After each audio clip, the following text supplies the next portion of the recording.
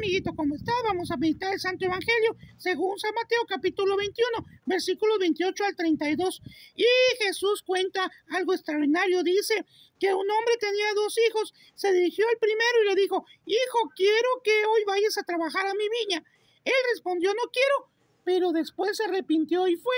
Y al otro le dijo lo mismo y le dijo él que sí iba a ir, pero no fue. ¿Quién? pregunta Jesús. ¿Quién de los dos hizo la voluntad del Padre?